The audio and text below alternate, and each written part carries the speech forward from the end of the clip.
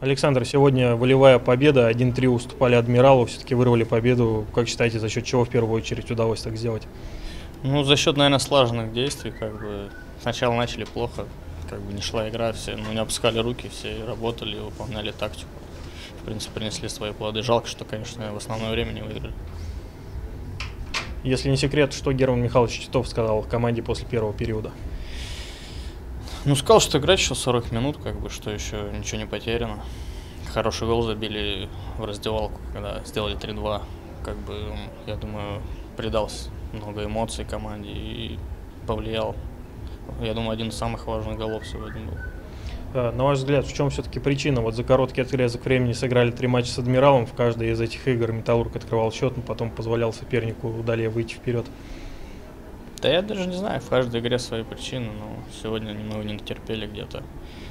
Не хватило, думаю, может, опыта какого-то. Но ничего, будем работать, команда молодая.